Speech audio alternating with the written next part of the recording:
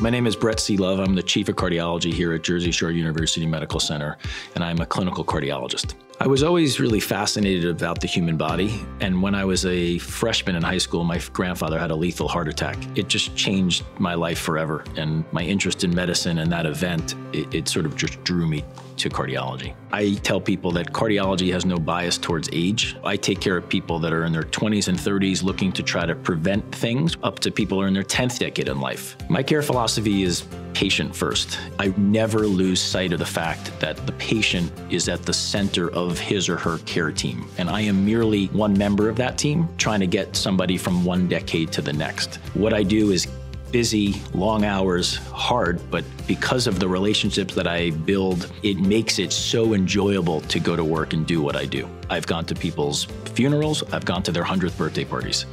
And being a part of people's families and watching families grow and helping them navigate the bumps in the road is by far and away the most enriching part of what I do. We can't lose sight of the people that we take care of. This is a mother, a father, a sibling, and I value that more than anything.